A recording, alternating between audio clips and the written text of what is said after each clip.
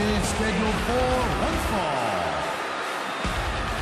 Approaching the ring from Chicago, Illinois, weighing in at 220 pounds,